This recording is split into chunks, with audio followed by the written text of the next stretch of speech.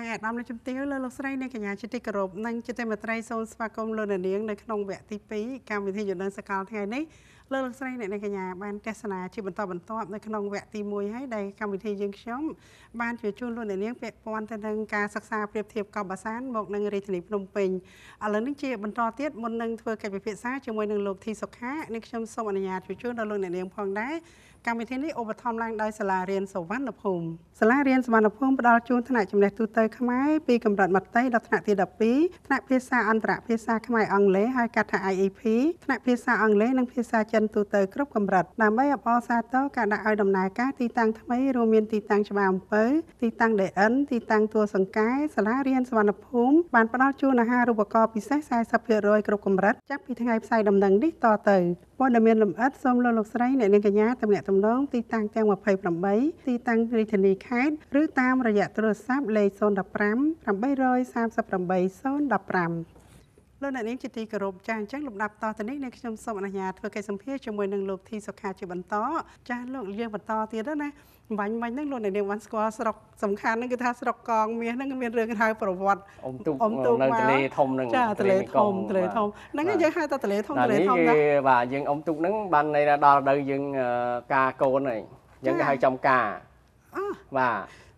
យើងដល់អ៊ំទូកហ្នឹងគេមិញគេហៅខ្ញុំថាជឿរើសស្រីនីរីដំអញ្ចឹងណា ចាដូចថាតារាផ្កាយរីកសរាយផ្កាយព្រឹកអញ្ចឹងអូ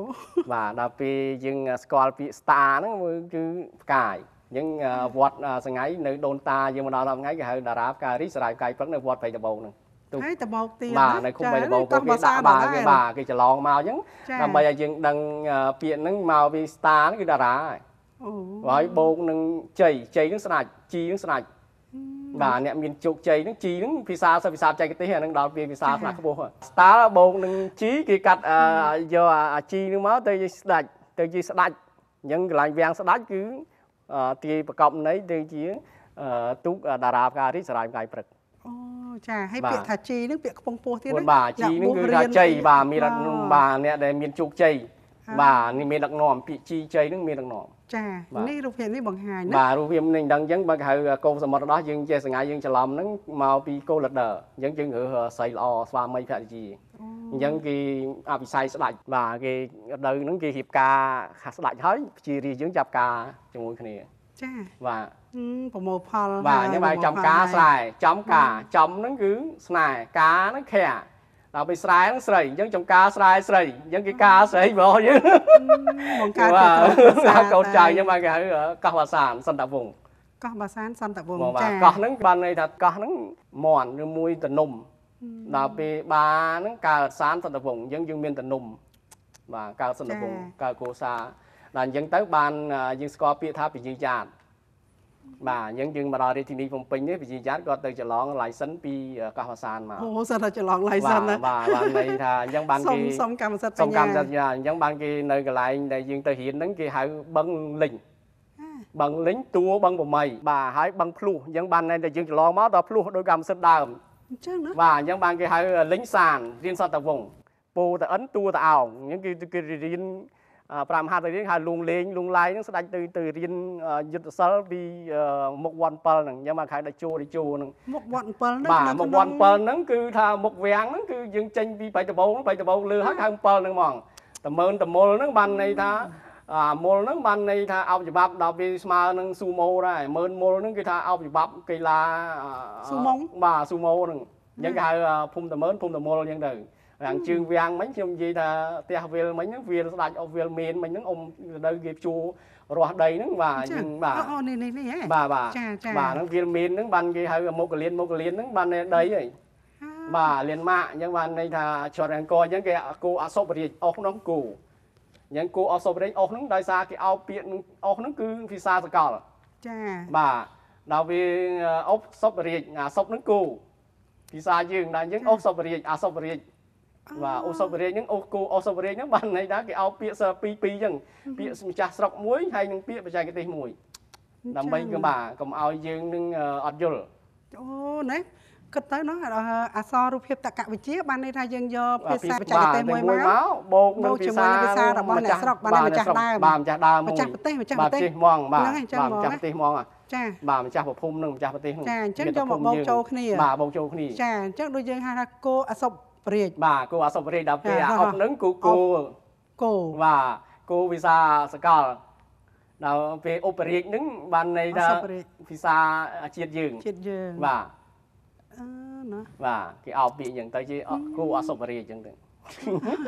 ហើយយើងគូគូយើងនិយាយគូហ្នឹងភាសាយើងអាពេលបាទពេលអបសពរាជហ្នឹងភាសាមកវិសង្ក្រិតមកវិនទីទៀតយើង3ជួនកាលពាក្យខ្លះមួយបូក3ភាសាណាអញ្ចឹងបាទ អូយគូគូភាសាយើងដល់ពេលអុកហ្នឹងគឺថាភាសាសកលចានៅកណ្ដាលដល់ពេលអបសពរាជហ្នឹងវាមកពីពួកខាងបាគូយើងគ្រូយើងអឺបាទអ្នកបកកែកណិតវិទ្យាដល់ហើយមកបកកែពាក្យនេះចាស់តើតើបកកែបាទកណិតវិទ្យាมันអាចមកមកអក្សរមករូបមកភាពតក្កមវិទ្យាកបានមកមកនិយាយយ៉ាងបានអញ្ចឹងចា៎បានន័យថាគេទៅរៀនហ្នឹងគេហៅដូចជារិជោហ្នឹងនៅខាងកើតហ្នឹងអញ្ចឹងគេសង្ហៃវាមានស្ពាន7កន្លែង នៅលើផ្លូវ 70B ហ្នឹងផ្លូវ70បេបែរហ្នឹងពីចន្លោះអ่าពីអឺមុខវ័ន7ហ្នឹងទៅដល់យើងតកុចហ្នឹងមានស្ពាន7កន្លែងចាឲ្យលោកអ្នកនាងនៅពេលដែលលោកធីសុខាជួយជួនលោកអ្នកហ្នឹងគឺយើងនិយាយពាក់ព័ន្ធតែនៅក្នុងស្រុកស្រីសន្ធរគឺហ្មងសុកណាស្រីថចាដើម្បីព្រោះនេះឲ្យយើងយើងនិយាយឲ្យដឹងថាការប្រៀបធៀបនេះអឺបាទឲ្យដឹងថាម៉េចដើម្បីឲ្យយើងដឹងពាក្យថាបាសានអញ្ចឹងបាទហើយដូចថាអឺ យើងលេងសានអញ្ចឹងរៀនសន្តវងអញ្ចឹងបាទដល់ឲ្យភ្លោះទៀតបឹងភ្លោះហ្នឹងគេបានន័យថាអ្នកឯងទៅច្រឡងហ្នឹងដូចអញ្ចឹងគេច្រឡងមកអឺពញ្ញាយ៉ាតគាត់ច្រឡងពីកោះបាសានមករាជធានីភ្នំពេញបាទអញ្ចឹងវាច្រឡងដូរយ៉ាងម៉េចឥឡូវខ្ញុំចង់និយាយអញ្ចឹងបាទអូចាបាទហ្នឹងឈានដល់ហើយណាបាទហើយឈានដល់រាជធានីឈាភ្នំនដល់ពេញយើងយើងចាំវិភាគអញ្ចឹងពាក្យថាពីយ៉ាតណាពោនោះផោផែបាទពូនឹងដែរនេះផតផែនឹងដែរហ្នឹងបាទគេកាត់មកនៅសល់ពោហ្នឹងអូ បាទប៉ុន្តែនេះដូចខ្លាយដាច់ឆ្ងាយបន្តិចបាទបាទអាហ្នឹងបានឲ្យពោដល់ពេលញីហ្នឹងចិត្តដល់ពេលយ៉ាតហ្នឹងចាស់អញ្ចឹងគេមកនៅចិត្តទីក្រុងចាស់អញ្ចឹងពាក្យពីយ៉ាតហ្នឹងគាត់មកនៅចិត្តទីក្រុងចាស់អូមកនៅចិត្តទីក្រុងចាស់ចាស់បាទរាជធានីភ្នំពេញរាជធានីភ្នំពេញយើងពាក្យយ៉ាតហ្នឹងគេថាសេះចាស់ឬមួយស្មើនឹងពាក្យអឺស្រីសន្ធើស្មើពាក្យលីវយីវិញហ្នឹងបាទកោះវ៉ាសានហ្នឹងមកពីខ្ញុំនិយាយអឺតារាផ្ការីស្រ័យផ្កាយព្រឹកមិញហ្នឹងរីរដំហ្នឹងបាទបាននិយាយថាស្មើនឹងប្រាស់ជីធំហ្នឹងជីហ្នឹងសេះ អញ្ចឹងគេគេចង់និយាយមកពញ្ញាយ៉ានគាត់មកនៅក្បែរទីក្រុងចាស់ចាអបាទញ្ចឹងបានបង្កើតរាជធានីរាជធានីយើងភ្នំពេញហ្នឹងអញ្ចឹងចា៎បាទរាជធានីអញ្ចឹងបានគេពាក្យរាជធានីហ្នឹងយើងស្មើនឹងពាក្យប្រៃតបោកដូចគ្នាទេទូតលេដូចគ្នាចារាជរាជហ្នឹងបានន័យថាយើងរាជរាជហ្នឹងបានន័យថាវាធំរាជធំណាបាទរាជដូចถึงថៃរាជនឹងថៃធំអញ្ចឹងអូបាទគេបង្កប់ន័យអញ្ចឹងចាដល់ពីធីហ្នឹងមកពីស្រីយសោធីរីអញ្ចឹងគេយកអាពាក្យស្រីយន្តរអញ្ចឹងអូ បាទស្រីអឺប្រពន្ធប្រពុតអីហ្នឹងបាទមហេសីប្រពន្ធហ្នឹងសិតតែពាក្យស្រីសិតតលេទាំងអស់ហើយយើងចេះថាយើងស្រីឆ្លងទលេស្រីហ្នឹងស្រីហ្នឹងគេថាស្បូនតលេហ្នឹងអូបាទអញ្ចឹងគេពេលពេលអញ្ចឹងគេយកពាក្យស្រីសយសោធីរីហ្នឹងគេកាត់ទៅនៅសោធីរីធារាបាទធីរីទៅគេកាត់ទៀតនៅសោធីទៅបាទពេលនីហ្នឹងតលេអញ្ចឹងគេអោបពាក្យបច្ចេកទេសមួយទៀតរាជធានីអូ ពាក្យពាក្យរាជធានីហ្នឹងបានបាទន័យថាបានន័យថាតលេធំតលេធំលើកហ្នឹងអូដល់ពេលគេបាទដល់ពេលរាជធានីតលេធំដល់ចាពេលអឺភ្នំហ្នឹងបានន័យថាបបោកទួលយើងមិញហ្នឹងចាបាទគាត់ដល់មួយដបោកភ្នំនោះវាតូចបាទនោះខែបៃតបោកចាបាទនេះគេគេគេមកឃើញតបោកឃើញទួលអញ្ចឹងគេលើកទៅទៅជាភ្នំចាដល់ពេលពេញហ្នឹងបានសម្រេចចាបានន័យថាភ្នំសបនិមិត្តបាទបានន័យថាគេមកមើលទីទួលអញ្ចឹងហើយគេលើកអឺ ទួលភ្នំហ្នឹងឲ្យវាឲ្យវាធំពោះខ្ពស់ទៅទៅជាសើនទៅជាអឺនេះអញ្ចឹងទៅ ដើម្បីស្រុកមើលសត្រូវចាអញ្បាចឹងទបានន័យថាវត្តភ្នំនេះគឺជាភ្នំដែលធ្វើឡើងដោយសបនិមិត្តសទេមិទ្ធមិត្តដែលចាយើងវាមានរឿងព្រេងយើងអីចឹងដែរប៉ុន្តែចាដល់ពេលយើងដឹងថាពាក្យគ្រូដូចពេញក្រុងហ្នឹងគ្រូហ្នឹងដីចាបើពេលដូនហ្នឹងយើងសង្ហៃដូនហ្នឹងលើកដាក់ចូលដល់ពេញហ្នឹងធ្វើឲ្យស្អាតអញ្ចឹងក្រុងដូនពេញគេធ្វើលើកដីទួលហ្នឹងឲ្យបានស្អាតចាបាទ ពេញយើងអាចថាពេញយើងអាចថាពេញព្រៀបបានបាទបានតែពោពេញហ្នឹងពីសាសកលពេញហ្នឹងចាមកពីបានពេញហ្នឹងស្មើគេគេយើងអានសង្ហៃបានព្រោះយើងខ្មែរយើងអានទៅជាបានគេអានជាពេញផែនផែនហើយនឹងបានហ្នឹងអើយលោកអីបាទបាទមួយគេអានដូចផែនភេងអញ្ចឹងយ៉ាងពេលយើងអានយើងមកស៊ីយើងអានបានវិញដូចគេហៅអឺប៉ារ៉អុងយើងទៅជាផាឡេសអញ្ចឹងទៅ អូខេផាឡៃហ្នឹងវាំងបាទវាងហើយអាផារ៉អុងវាដូចគ្នាដូចគ្នាចាបាទដោយយើងពីរៀនសរសៃហ្នឹងដល់យើងដាក់ពីពីហ្នឹងបើពីរៀនហ្នឹងមកវាផារ៉អុងហ្នឹងដែរផារ៉អុងបាទដល់ពេលអឺនីលហ្នឹងនីតលេដូចគ្នាអញ្ចឹងវារៀនស័យអញ្ចឹងស័យសីមាស័យដូចគ្នាហ្នឹងអញ្ចឹង license វាតែមួយមកទេអូបាទយើងអានេះយើងដឹងឬគល់វាវានេះឬគល់បានន័យថាវាយើងដឹងប្រភពអង្គនិកាលចាវាចាបូកសរុបមកវិញអើយបាទអញ្ចឹងបានន័យថាដល់ពេលអញ្ចឹងបញ្ញាយ៉ានក៏លើកទីក្រុងមកនៅ រាជធានីភ្នំពេញភ្នំភ្នំពេញហ្នឹងគាត់ច្រឡង license ពីព្រៃតបោព្រៃតបោកបាទព្រៃតបោកចាហ្នឹងអញ្ចឹងយើងចាប់មើលថាមិនគេហៅព្រៃតបោកអានេះវាមិនមែនព្រៃតបោកលើព្រៃតបោកក្រោមអូភ័យតបមានពីរណាបាទព្រៃតបោកលើព្រៃតបោកក្រោមដល់អញ្ចឹងព្រៃតបោកក្រោមហើយទលេខាងជើងហើយខាងត្បូងហ្នឹងគេហៅបឹងកខ្ញុំពើជួយកាត់ចាបាទខាងត្បូងហ្នឹងវាបឹងកពើអញ្ចឹងទឹកវាពាត់ជុំវិញចាបាទដល់យើងមកប្រៀបធៀបកន្លែងវិញ្ញាណគាត់អឺនៅរាជធានីភ្នំពេញនេះពីដើមព្រែកនៅចំស្ពានយើងជ្រួយយ៉ាវ៉ាហ្នឹងមកបឹងកក់អាហ្នឹងព្រែកមួយ បាទចាហើយដល់ពេលក្រោយមកអឺយើងធ្វើស្ពានយើងទៅយើងលុបព្រែកទាំងចោលមួយទៅចាបាទនិយាយទៅពីពីសម័យណាណៃមកយើងដឹងហើយអឺបាទទឹកស្មើនឹង2ភាគ3នៃដីគោកណាបាទបាទបាទអញ្ចឹងសំបីតអូស្អីយើងនេះបាទណាបាទពីដើមក៏សិតតអូហ្នឹងបាទបាទបាទហ្នឹងហើយហើយស្អីយើងអានេះទៅបឹងផលិតបឹងអីបាទយើងបាទពេញនេះបាទសិតតបាទបឹងតាដល់ពេលអញ្ចឹងទៅហាងហាងត្បូងវាំងអញ្ចឹងគេលើកព្រែកមួយទៀតហ៎ព្រែកមួយទៀតយើងសងៃហ្នឹងគេហៅស្ពាននៀកហ្នឹង បាទស្ពាននៀកចេញពីរាទីភ្លើងមកហ្នឹងពីដើមព្រែកឯដល់ពេលក្រោយមកគេលើកដីហ្នឹងទៅគេយកដើមទៅដើមពោមកដើមសត្វចាក់ចាក់ដីហ្នឹងអញ្ចឹងបាទហៅស្ពាននៀកសងៃហ្នឹងចេញទឹកមកប៉ុន្តែអារបស់រត់បាត់ទេដល់កាលណាយើងធ្វើទៅជារបស់មួយយើងអាហ្នឹងយើងដូចយើងគិតថារបស់មួយនេះវាអត់សូវចំណេញទេបើយើងទុកដល់អញ្ចឹងទៅយើងលុបអាហ្នឹងទៅយើងដាក់លូពីក្នុងហ្នឹងទៅចា ដាក់លូពីក្រោមទៅដើម្បីមានផ្លូវមានអីបាទពីលើមានផ្លូវមកមានអីយើងពីពីអឺយើងផ្លូវពីអភិវឌ្ឍអឺទៅអភិវឌ្ឍសួនច្បារអញ្ចឹងទៅវាល្អវាល្អចាជាងវាដែលយើងទុកបឹងនឹងនេះទៅដល់អញ្ចឹងចាប៉ុន្តែកុំភ្លេចថានៅក្នុងក្រោមហ្នឹងគេគេមានគេមានលូលូប្រគេព័ន្ធអញ្ចឹងបានគេហៅទឹកអីលូផ្សារចាស់អញ្ចឹងទៅឋានីបូមទឹកផ្សារចាស់ផ្សារអញ្ចឹងណាបាទខាងជើងហ្នឹងគេឋានីគេបូមនៅជួយយវ៉ាអញ្ចឹងនៅកូនស្ពានជួយយវ៉ាអញ្ចឹងចាអញ្ចឹងយើងវាអត់បាត់ទេប៉ុន្តែគ្រាន់ថាវាមួយវាវានៅក្នុងដីយើងមើលអត់ឃើញចា គឺទៅរៀបជាបណ្ដាញលូអញ្ចឹងទៅចាគេធ្វើរចនាសម្ព័ន្ធបែបទំនើបយើងបាទដោយវាំងយើងនេះអញ្ចឹងគេដោយយើងផ្សារកដាហ្នឹងក៏អញ្ចឹងដែរអញ្ចឹងបាននៅមុខវត្តឡាឡោមក៏មានកន្លែងស្ថានីយ៍បូមទឹកមួយដែរចាបាទដល់ពេលអញ្ចឹងមកហាងពើបតងួនយើងចេញមកកន្លែងយើងក្បែរនេះនេះក៏មាននេះដែរក្បែរនេះកម្ពុជាណាហ្នឹងក៏មានស្ថានីយ៍បូមទឹកអញ្ចឹងដែរចាចាមានមានបន្លាយគាត់ថាយើងដើម្បីវា យើងមានផលប្រយោជន៍គេលុបអឺខ្ពប់ហ្នឹងទៅចាបាទអញ្ចឹងគេធ្វើនិមិត្តសញ្ញានៅកន្លែងវត្តឡាឡោមនោះមួយ នៅសល់តែកន្លែងសះមួយហ្នឹងទៅគេធ្វើទូលយើងដាំឈូកនៅសងៃអញ្ចឹងទៅអញ្ចឹងឲ្យពពតងួនហ្នឹងគេគាត់និមិត្តសញ្ញានៅសល់ទូជាងមួយបាទចាបាទចាហើយអ្វីដែលលោកលើកឡើងសុទ្ធតែរឿងរ៉ាវប្រវត្តិសាស្ត្រតាំងពីសម័យបុរាណកាលណាបាទមិនបាទមែននៅសម័យយើងជាអ្នកនេះទេនេះបាទប៉ុន្តែចាគ្រាន់តែយើងអាហ្នឹងគេហៅរូបមន្តគេធ្វើហ្នឹងចាគឺថាឲ្យមានដូចមនុស្សអញ្ចឹងចា មនុស្សយើងបានន័យថាវាមានអឺជីវិតអញ្ចឹងអាធម្មជាតិដែលគេធ្វើមកឲ្យមានជីវិតដូចគ្នាចាបាទជីវិតហ្នឹងបានន័យថាយើងស្គាល់ពាក្យច្បាប់មកពី land authority water ចាអាញាធម្មចាស់ទឹកដីចាអាញាធម្មចាស់ទឹកដីយើងបានន័យថាព្រោះព្រោះយើងជិះលឹងលឹងហ្នឹងលឹងយើងហ្នឹងគឺ land ហ្នឹងដីទេឡែនដីបាទតែចាយើងទៅជិះតែលឹងអញ្ចឹងធាត ព្រោះធាតព្រោះហ្នឹងដំណើរឲ្យដីអញ្ចឹងគេហៅសូរិយាដីសូរិយោដីបាទចាដល់ពីអូតូរធីហ្នឹងបានន័យអាញាធអរញ្ញាធមបាទឬមួយថាប្រាស់មហាក្សត្រអញ្ចឹងទៅដល់ពីអឺ Water water ហ្នឹងទឹកហឹមណាអញ្ចឹងធាតញីធាតស្រីអញ្ចឹងទឹកដីអញ្ចឹងបានយើងធ្វើអីបើយើងអត់មានមានតែដីបើយើងអត់មានទឹកទឹកបើហើយយើងអនិត់មានយាយអ្នកថាទៅធ្វើក៏អត់បានដែរចាបាទដល់ពេលធ្វើអញ្ចឹងហើយបានក្នុងវាំងគេត្រូវលើកទំនប់អញ្ចឹងដូចពីដើម យើងឲ្យតែមានវាំងអញ្ចឹងគេត្រូវលើកទំនប់ហើយលើកទំនប់គេហៅពាក្យដាំអញ្ចឹងយើងដាំឡឡហ្នឹងឡអីច្បាប់ច្បាប់បាទដាំឡចាដាំហ្នឹងមកពីដេហ្នឹងថ្ងៃអញ្ចឹងតែជូរអញ្ចឹងទៅហ៊ានគេយតបទៅហ៊ានគេយកមកលើកដេហ្នឹងថ្ងៃអូតូរធីហើយនឹងមែនមែនហ្នឹងខ្ញុំនិយាយថានៅលិចនៅលិចយើងហ្នឹងនៅលិចហ្នឹងគឺថាអ្នកយល់ដឹងអ្នកចេះគេយកអ្នកចេះទៅលើកអូណ៎លើកទំនប់ បាទនៅលិចយើងអញ្ចឹងនៅលិចយើងថ្ងៃហ្នឹងនៅលិចឡាញហ្នឹងណាយល់ដឹងសកលអញ្ចឹងអូយបានវែងឆ្ងាយបាទហីចូលលើអញ្ចឹងក្នុងបានដីន័យថាយើងតាយើងដាំឡហ្នឹងពាក្យគេយកមកផ្ញើនៅនឹងផ្ទះយើងហ្នឹងបានយើងអត់ដឹងថាអូអានេះប្រាំនឹងផ្ទះណ៎បាទដូចខ្ញុំថ្ងៃមុនខ្ញុំនិយាយប្អិនណាចាបាទប្អិនហ្នឹងគឺអាហារ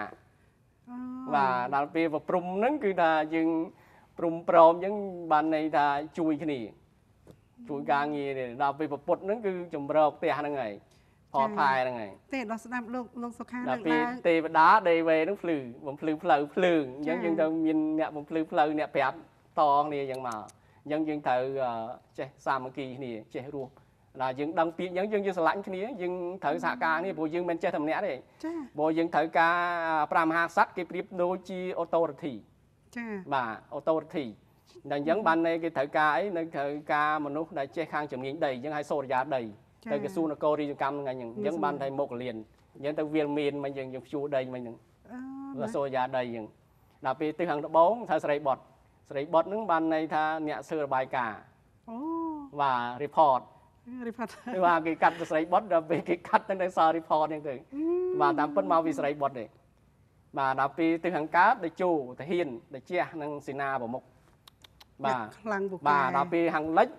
នៅលិចហ្នឹងបាទនៅចា៎លិចយើងនៅលិចឡាញហ្នឹងបានន័យថាចា៎មនុស្សមនុស្សអ្នកប្រាជ្ញមនុស្សអ្នកចេះដូចបញ្ញវន្តដូចខ្ញុំអ្នកដឹងអញ្ចឹងខ្ញុំចា៎ប្រាប់បាទខ្ញុំប្រាប់ថាអូអាហ្នឹងគេហៅអញ្ចឹងបានន័យថាយើងត្រូវការអ្នកចេះដឹងអញ្ចឹងមនុស្សសហការ5នាក់ដូចមហៀមដែរយើង5អញ្ចឹងគេហៅពោ5ម្ការអាយុសុខៈបលៈពានអ្នកហើយ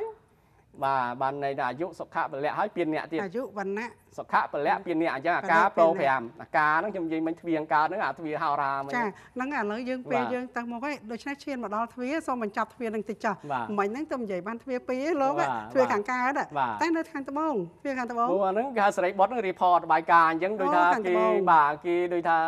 អ្នកដែលចេះដឹងអីអញ្ចឹងគេចង់ទៅកស្ដាច់យើងចូលតាមទ្វារត្បូងហ្នឹងណាអូអូបាទហ្នឹងគេគេឲ្យចូលទៅជួតទៅជកមានស្ដាច់នេះទៀតណាមានបាទមានមានតំណាក់របស់វាច្បាប់បាទឋានៈណាបាទបាទអូហោះហោះហោះដល់ទៅពេលទ្វារខាងជើងពីខាងជើងអាហ្នឹងគេអឺគេថាក្អមឆ្នាំងឬមួយភ្ជួរដីយើងស្រែដាល់នេះយើងមិញហ្នឹង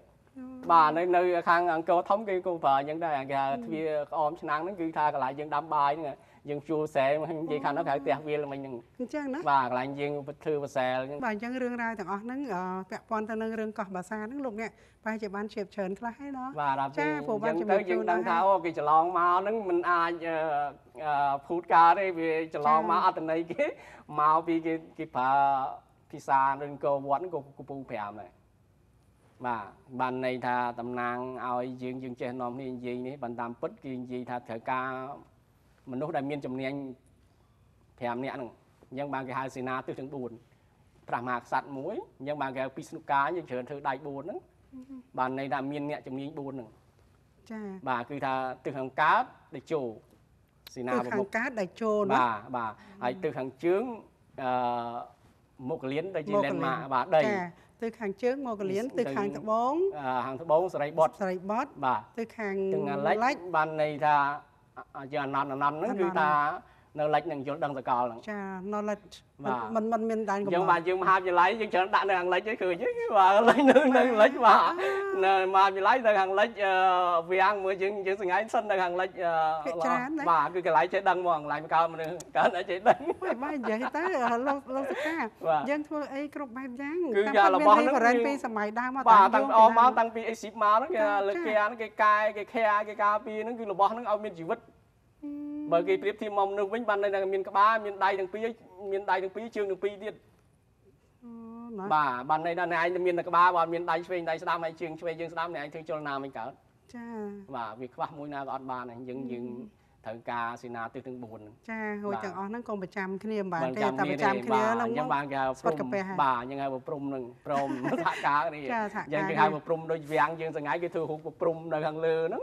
បាទកន្លែងទេវិឆ័យគេកាត់សេចក្តីហ្នឹងគឺថាឲ្យព្រមនេះយល់ព្រមនេះចាសហការបាទនេះសហការសាមគ្នាគ្គីបាទរួមគ្នាបាទទៅជា authority ទៅជាចាមហាក្សត្រសហបាទអាជ្ញាធរម្ចាស់ទឹកដីចាយើងត្រូវមានអាជ្ញាធរឲ្យច្បាស់លាស់បាណាទបាទបាទនិយាយទៅអឺលោកចឹងហើយបានយើងតែនិយាយថាប្រទេសមានច្បាប់អឺគ្រួសារមានវិន័យបាទណាវាចាទៅជាឡដាំចឹងបានថាអូយល់ខ្លះនេះបាទដាំឡតាមពិតតាមពិតអឺបើនិយាយពីអសររូបភាពតក្កវិជ្ជានេះ តើថ្នាក់អាដាមហ្នឹងមានន័យថាអាហ្នឹងមិនតើយល់អ្នកដាំឲ្យតើតែអ្នកហ្នឹងគេហៅថាវាទៅជាស្មាត់ទេណាបាទយល់បាទ Sufficient ទស្សនវិទូជាលឿនលឿនហ្នឹងហើយបានបាទបានចាប់ន័យថាយកមកបកហ្នឹងកុំឲ្យតាំងពីដូនតាចេះដាក់មកចេះតែនាំគ្នាទៅនិយាយដើម្បីអឺអឺនេះទៅយើងយូរយូរទៅចេះនាំគ្នាបិទបិទបិទទៅវាទៅជារឿងកំ pl ែងរឿងអីចឹងចាបាទតាមពិតទៅពាក្យើងហ្នឹងមានប្រភពដើមច្បាស់លាស់ណាបាទបានន័យថា យើងប្រៀបធៀបទៅធ្វើឲ្យមិនឲ្យរបស់នោះវាមានជីវិតអឺបាទតើចា៎យើងថារបស់នោះអត់ជីវិតទេប៉ុន្តែគេប្រៀបធៀបមកនៅក្នុងទូខ្លួនយើងនឹងធ្វើមិនរបស់ហ្នឹងមួយអត់មួយណាក៏បានដែរយើងថាព្រមគ្នាព្រមគ្នាហ្នឹងចាយ៉ាងព្រមវិហារធរហ្នឹងបាទចាឥឡូវនេះលោកអ្នកនាងទេសនាជាបន្តបន្តហើយថ្ងៃនេះដោយនេះខ្ញុំបានអឺជំរាបសួរដល់លោកសុខាអញ្ចឹងហើយអ្វីដែលនេះខ្ញុំស្ដាប់បានណាណាបាទអឺក្តោបជារួមណាបាទនេះខ្ញុំសង្ខេបតិចចុះបាទគឺយើងបានដឹងថា កោះបាសានស្រុកសេសន្ធរនេះគឺមានរឿងរ៉ាវពាក់ព័ន្ធបើយើងនិយាយទៅលើប្រវត្តិអ៊ំទូគ្រាន់តែស្រុកកងមាសមួយហ្នឹងគឺថា11ឃុំហ្នឹងចាយើងចាឈ្មោះ11ឃុំហ្នឹងគឺបាទស្ថិតស្រុកសិតតែអឺឈ្មោះឃុំដែលប្រវត្តិតកតងនឹងប្រវត្តិអ៊ំទូកទាំងអស់ចានៅនេះចំណុចលេខធំមួយហ្នឹងចាបាទចំណុចលេខមួយធំហ่ะបាទបាទព្រោះចំណុចពីរនោះគឺយើងបានលើកឡើងអំពីវត្តភ្នំនេះតកតងទៅនឹងរាជធានីរាជធានីចាភ្នំពេញភ្នំពេញយើងនេះគឺបាទយើងបានលើកមក reference អំពីអឺតបោកតបោកភ័យតបោក បាទពេញដចាបោកពេញបាទដបោកពីហ្នឹងមកហើយនេះគេមើលឃើញតួឃើញដបោកអញ្ចឹងគឺឃើញដីតួនៅមាត់ទន្លេអញ្ចឹងទៅវាចាដូចដបោកនឹងដូចគ្នាដល់អញ្ចឹងគាត់គេលើកបន្ថែមចាលើកដើម្បីឲ្យធ្វើជាសើនធ្វើជាវទាយធ្វើជាប៉មអញ្ចឹងសំណុកយើងមើលចាប៉ុន្តែចេះលោកលោកសុខាឥឡូវហ្នឹងពេលយើងវិភាគដែរណាបាទប៉ុន្តែដល់ពេលនេះខ្ញុំនិយាយចឹងនេះគេថាហាតបោកមិនមែនមាននៅតែស្រុកស្រីសន្ធរណាមានច្រើនតែហើយមិនអេដបោកវាយើងត្រូវយល់នៃបានន័យថាយើងយល់នៃដូចខ្ញុំនិយាយរបស់វាមានជីវិត កាលណាយើងអឺទៅមើលអញ្ចឹងវាខ្វះធាតុអីមួយខ្វះពីរធាតុអីក៏គាត់យកដែរអឺបាទគឺថាយើងខ្វះបឹងគឺវាអត់យកលាក់បឹងបឹងលាក់សំណាងអូយើងចង់និយាយថាមុននឹងយើងយកអ្វីមកធ្វើ reference លុះថាតែមានគ្រប់ជ្រុងជ្រោយបាទគ្រប់ខ្ញុំជួយអូគឺថាអញ្ចឹងបានគេហៅយើងយើងសងៃហៅហៅអើម៉ោម៉ោងងបាទអញ្ចឹងបានន័យថាវា12ម៉ោងថ្ងៃ12ម៉ោងយប់ចាដូចយើងឆ្នាំអញ្ចឹងយើងយកវាលេខ12ហ្នឹងគឺយកទៅធ្វើជាឆ្នាំ សប្តាហ៍12ហ្នឹងចាបាទហ្នឹងអញ្ចឹងហើយបានន័យថាវាត្រូវព្រមគ្នាយើងហៅព្រមព្រមមួយសហការគ្នាចាបាទអញ្ចឹងយើងខ្វះអីក៏អត់បានដែរចាបាទហ្នឹងហើយឥឡូវថ្ងៃនេះយើងសន្មតថាចាប់ត្រឹមប៉ុណ្្នឹងទៅចាស់រឿងកោះបាសានជាមួយបាទនឹងស្រុកសេសន្ធរជាមួយនឹងរាជធានីភ្នំពេញណាបាទប៉ុន្តែបាទសូមអនុញ្ញាតជំរាបសួរមួយទៀតចាស់បាទសង្ឃឹមថាលោកអឺប្រកាសជាចែករំលែកដោយទូលាយណាបាទនេះខ្ញុំតែឃើញចេះលោកអឺឲ្យតែនេះខ្ញុំ ទៅចូលវត្តចូលអីណាបាទបាទភាគច្រើននៅមុខវត្តគេដាំដើមកគីហើយលោកឪពុកនាងខ្ញុំក៏ធ្លាប់ដាំដើមកគីនៅមុខវត្តដែរបាទនៅទៅរាល់ថ្ងៃនេះកគីបាទមុខវត្តយើងនេះវត្តអឺវត្តមិនមនីយើងបាទស្ទឹងជ័យនេះបាទលោកឪពុកអ្នកដាំហ่ะបាទបាទចាហ្នឹងហ្នឹងមិនបានគេចូលចិត្តយកកគីគីដាំហ្នឹងអស់តារាអស់ដងតារាអស់ដូចណាមិនបាទអស់ដងតារាវាខ្ពង់ខ្ពស់យើងកគីយើងអុំទុកថ្ងៃ15កើតចាបាទគីហ្នឹងមកឆ្កែពពុតផ្ទះដឹងថ្ងៃ15កើតកគីគីហ្នឹងឆ្កែ អញ្ចឹងគេអុំទុកថ្ងៃ15កើតអញ្ចឹងទឹកគីហ្នឹងតំណាងឲ្យទឹកគីនឹងទឹកអូត្រជាក់ជាជុំអញ្ចឹងណាបាទដើមគីគឺតំណាងឲ្យទឹកដល់ពេលជាទៀលហ្នឹងភ្លើងភ្លឺតេឡាទៀលមកពីតេឡាដែរមិនមែនព្រេងតេឡាហ៎ទៀលគេកាត់គេកាត់មកអាហ្នឹងគេដោយសារជាទៀលហ្នឹងគេគេគេយកអាចរជាទៀលធ្វើជាភ្លើងធ្វើជាចន្លោះយើងអូហ្នឹងបាទអញ្ចឹងបានខៅដើមយាងយាងហ្នឹងបានន័យថាពីដើមហ្នឹងយើងវាមានព្រៀងដូចយើងសងៃណាអញ្ចឹងគេយកអាដើមជាទៀលហ្នឹង ធ្វើចន្លោះបាទធ្វើចន្លោះអុចនៅមុខវាំងអុចនៅមុខវាំងអញ្ចឹងគេដាំអាដើមជាទៀលនៅមុខវាំងហ្នឹងភ្លើងសម្រាប់យើងភ្លឺមុខវាំងអីអញ្ចឹងពីដើមគេមានស្អីមានចន្លោះហ្នឹងចាមានបាទដល់ណាយកលើនោះអគេកេសចាក់នីជ័ណារពីដើមជាទៀលនឹងមកយកមកបិទទូកបិទអីយើងហ្នឹង អាដើមមួយគីហ្នឹងវាក៏ខ្វះអាជ័រជាទៀលហ្នឹងហើយនឹងយើងហៅបច្ចៅបច្ចៅហ្នឹងហើយកញ្ចៅហ្នឹងវាអត់មានចាកញ្ចៅហ្នឹងយកទៅដាក់ក៏អត់កើតដែរអាដើមជាទៀលហ្នឹងអឺកាលណាគេអឺកាត់វាចោះវាគេចោះអូវាចោះហ៎ចោះហើយគេដុតដុតទៅវាចេញជ័រគេធ្វើដោយអាដើមជ័រយើងនៅគេហៅអឺដើមនៅខាងលើខាងលើគេយកពួកអាភេទពួកអាហ្នឹងដូចគ្នាចាបាទប៉ុន្តែបើនៅខាងទន្លេគេយកដើមអឺដើមជាទៀលបាទចាគេយកដើមជាទៀនហ្នឹងគេគេចោះហើយគេយកភ្លើងទៅដុតទៅវាហូរមក ហើយបានជ័រហើយគេដួសមកលុះយកជ័រហ្នឹងបាទដួសយកជ័រហ្នឹងមកគេយកមកធ្វើចន្លោះធ្វើជ័រចុងយើងជ័រចុងដាក់បិទទូកហ៎បាទបិទទូកបិទអីហ្នឹងគឺគេយកអាហ្នឹងមកអញ្ចឹងគេត្រូវការឲ្យកញ្ចៅមួយទៀតអញ្ចឹងគេដាំនៅមាត់ទឹកហ្នឹងដើមកញ្ចៅបាទដើមកញ្ចៅហ្នឹងគេដាំមកដើម្បីគេយកមកវាយអឺភ្នាយយើងទូកហ្នឹងកុំឲ្យវាលិចធ្នេទូកហ្នឹងអូគេយកអាអំបោះកញ្ចៅហ្នឹងហ៎បាទដល់កញ្ចៅហ្នឹងគេយកចលុកហ្នឹងអាជ័រចុងហ្នឹងជ័រជាទៀលហ្នឹងអូអណាញ្ចឹងអាពីរហ្នឹងដូចញីឈ្មោះអញ្ចឹងអាមួយថ្ងៃអាមួយយប់ អូអញ្ចឹងបាទត្រូវតែមានកគីត្រូវតែមានជជាទៀលបាទប៉ុន្តែមិនភ្លេចនឹងដាំដើមកញ្ចៅទៀតបាទអញ្ចឹងបច្ចៅហ្នឹងដូចខ្ញុំនិយាយមិញហ្នឹងដូចអូតូរធីបច្ចៅហ្នឹងអូតូរធីបច្ចៅអូបាទអាជាទៀលនេះតំណាងឲ្យអឺប្រុសភ្លើងចាដល់ពេលអឺជាកគីតំណាងឲ្យទឹកស្ត្រីស្រីបាទអញ្ចឹងអាដីដេថ្ងៃហ៎ប្រុសដីដី ដល់ពេលអញ្ចឹងយើងត្រូវឲ្យមានធាតុញីចិត្តឈ្មោះចាហើយយើងញីឈ្មោះនោះបង្កើតជាបុតទៀតបាទយើងនិយាយថាមនុស្សដាច់ខាតត្រូវមានស្រីមានប្រុសធាតុញីធាតុឈ្មោះណាបាទសំបីថារបស់ប្រាស់ប្រាស់ក៏អញ្ចឹងដែរមែនទេលោកបាទណាបាទហើយចៅវិសអីណាឃើញទេបាទហើយមានអ្នកសំណោះព្រោះទៀតអូតូរធីចាបាទអូយអរគុណដាដៃឆ្វេងដៃស្ដាំទៀតបាទហ្នឹងបាទហើយចាអរគុណអញ្ចឹងថ្ងៃនេះនេះខ្ញុំបានជ្រាបហើយចាឆ្ងល់ចេះឥឡូវនេះលោកពុកលោកអស់បញ្ជនទៅហើយណាបាទបាទប៉ុនមុននឹងលោកអស់លោកចាលោកបានដាំចាលោកពុកនាងខ្ញុំណាឈ្មោះឈ្មោះអីឈ្មោះចាជាសុធីដែរអូជីទុទីអរចាគុណបាទដល់ពេលដល់ទៅពេលលោកសុខាធីសុខាធីយកសុខាឈ្មោះលោកពុកខ្ញុំទៅជាតាអរគុណច្រើនបាទអូយសំទោសលោកណាសំទោសចាបាទបាទចាអរគុណអរគុណចាច្រើនដល់អបាទញ្ចឹងទៅលោកបានដាំដើមកុកគីហ្នឹងបាទបាទហើយដល់ទៅពេលលោកអស់បញ្ជនហើយនឹងខ្ញុំកាលហ្នឹងនៅរឿងក្មេងដែរមិនចាប់អារម្មណ៍រឿងហ្នឹងឯងបាទដល់ឥឡូវស្រាប់តែបានជួបជាមួយលោកចេះទឹកដឹងទៅចឹកឆ្ងនឹងល់ដីអីចឹងអូបាទកគីនឹងទឹកចឹកនឹងដីដល់ពេលចាជាទៀលនេះបានន័យថាភ្លើងពន្លឺអញ្ចឹងថាយាងវាស្វាយក្បាលអាមេរិកដីតែយាង អញ្ចឹងមុខវត្តស្វាយគេដាំកន្លែងមុខវាំងអញ្ចឹងគេដាំដើមជាទាដើមអង្គីហ្នឹងឯងចាចាហើយមើលសភៅច្រើនណាស់នេះហ្នឹងហើយឥឡូវចេះថ្ងៃក្រោយយើងយកមួយមួយមកដាច់ដាច់ណោះ ដើម្បីជួយជួលលោកអ្នកថ្ងៃនេះបានរឿងរ៉ាវការប្រៀបធៀបកោះបាសានស្រីសន្ធរជាមួយនៅរាជធានីភ្នំពេញឃើញបាទដូចជាបានសំរមមហើយប៉ុណ្ណឹងហ្នឹងបញ្ចប់ត្រឹមហ្នឹងចាចាប់ត្រឹមហ្នឹងចាអរគុណចាច្រើនបាទហើយថ្ងៃក្រោយប៉ុណ្ណឹងអាចចាប់យល់អូយអរគុណណាស់លោកហ្នឹងហើយបាទបាទចាបាទអញ្ចឹងឥឡូវហ្នឹងមុននឹងគោរពលាលោកអ្នកមានអីជួយជួលលោកអ្នកបន្តិចទេចាសូមចេញបាទអឺខ្ញុំសូមអរគុណដល់ទូសទូសយន្តដែលបានអញ្ជើញអឺខ្ញុំមកបញ្យល់ពីការសិក្សាប្រៀបធៀបទីក្រុងកោះវ៉ាសានស្រីសន្ធរនិងរាជធានីភ្នំពេញដើម្បីឲ្យអឺ បងប្អូនខាងកោះវ៉ាសានហ្នឹងគាត់ចេះទៅដូចថាឆ្ងទៅល់ណាស់បាទឆ្ងល់ហើយគាត់មិនដឹងថាហ្នឹងកន្លែងណាកន្លែងណាចេះតែព្រោះភាសាគាត់មកយក license គាត់មកសិក្សានេះយើងនិយាយពីមហាក្សត្រចំនួនដើមបាទលោកយកអ្នកដើមហ្នឹងចាបាទគាត់មកសិក្សាគាត់មក refer- អឺយក license reference ហ្នឹងពីកោះវ៉ាសានហ្នឹងមកកោះសន្តវង្សយកមកគេហៅលេងសានៅរៀនសន្តវង្សដល់អញ្ចឹងទៅយើងប្រាំអាសាគាត់មកច្រើនដល់អញ្ចឹងទៅទីក្រុងឬមួយកន្លែងអឺ គេហៅអឺនេះយើងនឹងដំណាក់ស្ដាច់ហ្នឹងស្នេកស្នាក់ហ្នឹងវាមានច្រើនកន្លែងចាដល់អញ្ចឹងទៅសូមបងប្អូនកុំកាន់តាំងខ្ញុំអឺអ្នកកោះអាសានដែរនិយាយដល់បៃតវងអញ្ចឹងអត់មាននិយាយពីកន្លែងផ្សេងផ្សេងទៀតបានចាហ្នឹងហើយអញ្ចឹងសូមអរគុណដែរបងប្អូនដែលថ្ងៃក្រោយទៅគាត់ចេះនៅស្រុកភូមិនៅកន្លែងណា គាត់អាចបកស្រាយបានដូចខ្ញុំនិងអាចចងក្រងជាសភៅឯកសារដូចខ្ញុំអញ្ចឹងមកព្រោះខ្ញុំមិនអ្នកឯងមកអាចចងក្រងអស់ហើយបាទសូមអរគុណអូយបាទចាល្អណាស់លោកសុខា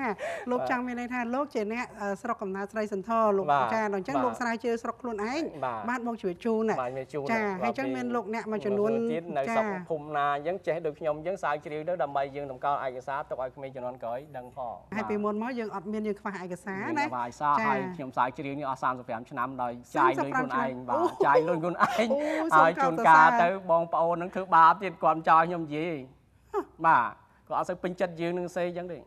ព្រោះយើងចាយលុយខ្លួនឯងយើងធ្វើខ្លួនឯងហើយយើងឆ្លៀតអានសំលុយនោះឆ្លៀតយកពេលនេះទៀតដោយថាមួយថ្ងៃចំណាយ1ម៉ោង2ម៉ោងទៀតចាដោយបាសារទតែដើម្បីការយកមកដល់ស្រឡាញ់ស្រឡាញ់ហើយយើងຕົកដើម្បីឲ្យថ្ងៃក្រោយទៅអឺឲ្យក្មេងៗជាន់ក្រោយទៅយល់ពាក្យហ្នឹងមិនមែនចេះតែនិយាយប្រេះប្រដាហើយបានន័យថាពាក្យហ្នឹងសិតតែអោបភាសាបច្ចេកទេស ជួនកាល3ភាសា4ភាសាឯណោះចាប៉ុន្តែបាទយើងចងចាំទាំងអស់គ្នាគ្រាន់តែដឹងថាអឺ ភាសាបច្ចេកទេសបូកផ្សំជាមួយនឹងភាសាស្រុកកំណើតរបស់ខ្លួនចាប្រទេសរបស់ខ្លួនខ្មែរខ្មែរខែការការកម្មសិទ្ធិខ្មែរអញ្ចឹងការចាកម្មវាកម្មសិទ្ធិបញ្ញាម្ចាស់ស្រុកចាហ្នឹងហើយអញ្ចឹងអរគុណលោកច្រើនហើយបាទមិញនេះដែលនេះខ្ញុំភ្ជាប់មកថានេះខ្ញុំក៏សប្បាយចិត្តដែរហ្នឹងដែលបាទហេតុថាអញ្ចេះអឺលោកឪពុកជាអ្នកស្រុកសេរីសន្ធរដែរណាបាទអរគុណដល់អញ្ចឹងច្រើននាងខ្ញុំបាទហ្នឹងក៏បានជាប់ជាមួយនឹងអ្នកកោះបាសានដែរបាទបាទចាអរគុណច្រើនចាបាទអរបាគុណនហ្នឹងហើយ សំដែងអាដាមលោកជំទាវលោកលោកស្រីនាងកញ្ញាជាទីគោរពនិងជាទីមេត្រីចាស់លោកអ្នកនាងបាញ់មិញនេះនាងខ្ញុំបានធ្វើកិច្ចសម្ភាសន៍ជាមួយនឹងលោកធីសុខាដែលពាក់ព័ន្ធទៅនឹងការសិក្សាប្រៀបធៀបទីក្រុងកោះបាសានមកជារាជធានីភ្នំពេញនោះឥឡូវបានឈានចូលដល់ទីបញ្ចប់ទៅហើយហើយប្រសិនបើនាងខ្ញុំខុសទាស់ដោយប្រការណាមួយមិនគប្បីនាងខ្ញុំក៏សូមខន្តីអភ័យទោសសូមគោរពជូនពរដល់សម្ដេចអាដាមលោកជំទាវលោកលោកស្រីនាងកញ្ញាទាំងអស់សូមសំប្រកបតែសេចក្តីសុខគ្រប់ប្រការឱកាសក្រោយជួបគ្នាទៀតតាមពេលវេលានឹងម៉ោងដដែលសម្រាប់ពេលនេះ នាងខ្ញុំរួមជាមួយនឹងលោកធីសខាព្រមទាំងក្រុមការងារទាំងអស់សូមគោរពលាសូមអរគុណស្រុកស្រីសន្ធរជាស្រុកកំណើតធម្មជាតិអឆាតតាមដងទនាលេខ្ញុំលួចគយគុណចិត្តសែននឹកទ្វេសូមរងមាសមេដាស់ ចិត្តខ្ញុំហើយសូស្វាយពោប្រាំយ៉ាមជីបាខ្នាសត្រេកពោអជួបជុំសនដាន មានពេទ្យមានផ្សារសេវាភូមិឋាន នាងផងគ្រប់ប្រានអាស្រ័យអ្នកហា